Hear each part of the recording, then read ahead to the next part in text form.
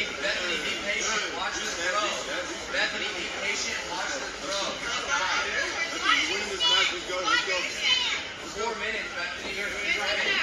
Bethany, let's go.